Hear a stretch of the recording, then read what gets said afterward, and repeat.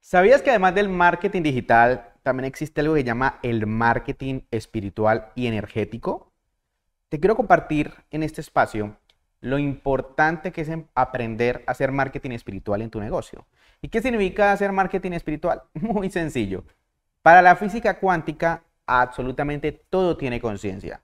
Todo. Por más que este objeto sea sólido y por más que esto esté quieto, no hable, tiene conciencia. ¿Por qué? Porque está hecho de átomos. Y los átomos es energía. ¿sí? Los átomos que se unen se vuelven moléculas y, absolutamente todo está hecho de átomos. Tú, yo, los objetos, la cámara, todo está hecho de átomos. Y en la medida que entiendas de que todo tiene conciencia, vamos a empezar a manipular de buena manera la energía y la conciencia de ese objeto y por ende entender que nuestro negocio, nuestras campañas, también tienen conciencia.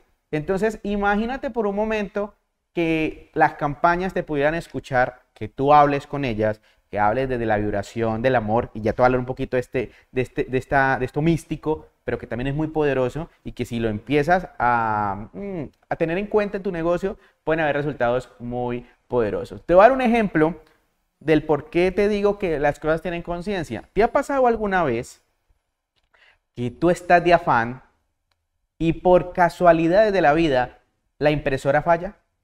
Eh, o sea, como que estás con esa ansiedad de irte rápido y la impresora falla. O el internet se pone lento.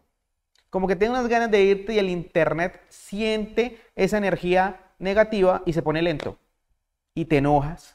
O te ha pasado alguna vez que vas en tu carro y vas de afán y empieza a haber una cantidad de tráfico, como que el, digamos que el entorno te escuchara esa energía y esa vibración, pues déjame decirte que con estos ejemplos, si te ha pasado, es porque todo tiene conciencia. Entonces, cuando tú empiezas a entender que tu negocio, tus campañas, tu landing tiene conciencia, vas a empezar a verlo como una persona y vas a empezar a tener una bonita relación con esa persona. Así que, ¿cuál vendría siendo el marketing espiritual o el marketing energético? Cuando yo voy a hacer una campaña, antes de hacer la campaña, yo le coloco una intención a esa campaña. ¿Sí? Yo siempre digo, voy a hacer esa campaña con la firme intención, con todo el amor de impactar y transformar la vida de las personas que lleguen, a, que lleguen mi publicación y que compren mi producto. Mi producto les va a transformar la vida tan poderosamente que me van a seguir comprando. ¿Sí ves? El poder de la intención. Estoy energizando mi campaña. Haz la prueba. Haz la prueba. Y vas a darte cuenta que tu campaña puede empezar a tener mejores resultados. Yo sé que va a decir, Guito, ah, eso suena muy místico, ¿no? Eso suena muy, yo soy más analítico, porque puede ser que lo seas, pero yo siempre he dicho en la vida que no podemos asegurar algo al 100%, pero tampoco lo debemos, de, digamos, de, de ignorar al 100%.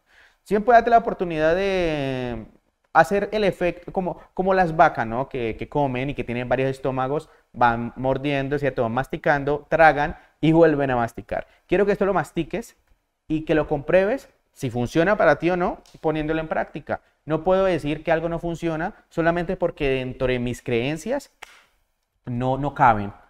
En este entrenamiento, si esto está acá, ¿qué te invito? A que abras la mente y que, que lo pongas en práctica. Habrá otras personas que estén muy conectados con el tema del desarrollo personal y sea mucho más fácil eh, digerir esto y ponerlo en práctica. Quizás tú sea mucho más analítico, tengas un hemisferio izquierdo mucho más potenciado y para ti lo único que funciona son los números, lo que tú puedes ver para creer. En este caso es ya mucho más de creer para ver, ¿no? Entonces, ¿cuál es la intención y la invitación que te hago? Pon en práctica esto. Empieza a entender que todo tiene conciencia y empieza a hablarle a tu negocio. Empieza a pedirle a tu negocio. Cuando hablamos de marketing espiritual también es, hey, ¿qué productos yo puedo empezar a vender en mi negocio? Generalmente hacemos un estudio de mercado, ¿no? Empezamos a, ver eh, qué está vendiendo la competencia, qué productos está vendiendo más, eh, cuál es el que me recomienda mi mentor, cuál es el que me recomienda la comunidad, y está excelente. Pero, ¿qué tal si empezamos a diferenciarnos de todos, empezándole a preguntar a mi negocio, como si el negocio tuviese vida, cuál es el producto correcto y perfecto el que yo debería de comercializar? Sí, entonces, ¿qué tal si le empiezas a preguntar a tu negocio, cómo se llame tu tienda, ¿cierto? Tienda del éxito store, un ejemplo. Éxito store, con amor, con respeto. ¿Cuál es el producto ganador que yo debería de comercializar aquí y que transformemos la vida de las personas? Que tenga una gran recordación, que haga que, una persona no compre uno, sino varias unidades y que cuando se le acabe quiera comprar más. Cuando tú haces esa pregunta a tu, negocio, escucha a tu negocio. Escúchalo. Y posiblemente por ahí te va a llegar eh, la publicación un producto, alguien te va a hablar de ese producto, ¿sí? Posiblemente vas a estar navegando en internet y encuentre algo que te conecte y digas, este es el producto que yo voy a comercializar. Este es el producto que yo voy a vender, ¿sí? Recuerda que además de la rentabilidad, del profit que usted vaya a, tener en tu negocio con ese producto, también tiene que ser un producto que, que, te conecte, que te haga feliz comercializarlo y sobre todo que realmente aporte valor en la vida de las personas. ¿sí? Olvídate un momento de ti y empieza a pensar en el cliente. La consecuencia es que sí o sí va a haber billete, sí o sí va a haber mucho dinero. Entonces empieza a preguntarle a tu negocio, hey, ¿qué producto debemos de vender? ¿Qué producto debemos de comercializar? Y espera respuesta. Vas a ver, ponlo en práctica, ¿sí? posiblemente te va a funcionar de maravilla cuando empiece a, recibir respuestas de parte de tu negocio como si tu negocio fuera una persona en sí. Lo mismo para la landing, el poder de la intención. Te voy a hablar un poco del poder de la intención. Mira lo que te mira esto que es bien importante. Tú puedes vender algo con dos intenciones. La primera intención y es, yo vendo esto con la firme intención de ganarme una comisión. Pare de contar. ¿Sí? Yo puedo vender una moto, un carro, ser un comisionista de esa, de esa venta, pero yo vendo con la firme intención de simplemente comisionar. ¿Qué significa? Que mi actitud va a ser convencer al cliente, persuadirlo, hacer que, o sea, como se dice, presionar a que lo compre, solamente para meter dinero en mi bolsillo. No es ni bueno ni malo, no es ni bueno ni malo. Solamente guardes esto en la cabeza. Yo me tengo que convertir en el cliente y en el vendedor que yo quiero atraer. Y la pregunta es, si el día de mañana tú eres un cliente, ¿te gustaría que te metieran un producto como sea solamente para que ese vendedor gane la comisión? Cuestiónatelo. Y si va a decir, no, si yo estoy en la posición de cliente, quiero que me asesoren. Lo mismo. Entonces debes de convertirte en ese vendedor que quieres atraer. Entonces, un vendedor con una buena intención, ¿qué haría?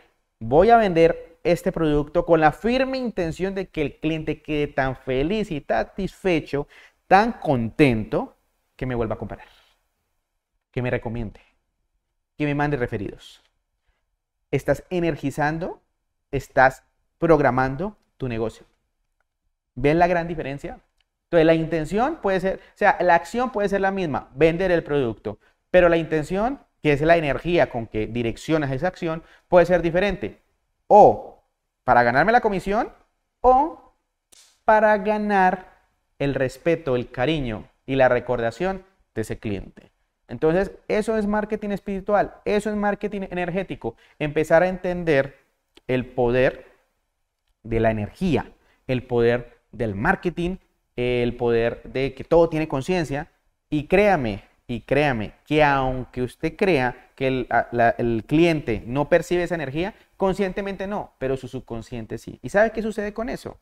Que puede ser que el día de mañana el cliente eh, perciba que tú realmente solo quisiste venderle algo, un producto, solamente por la comisión y no te va a volver a comprar. Así que ya sabes lo poderoso, ya sabes lo grandioso que es empezar a hablarle a tu negocio, empezar a darle intención, dirección energía a tus campañas. También cuando cree la landing, creo esta landing con la firme intención de que cuando la lean se enamoren y, los y compren las personas correctas y perfectas. Empieza a hacer esto en tu negocio y vas a empezar a ver grandes y poderosos resultados.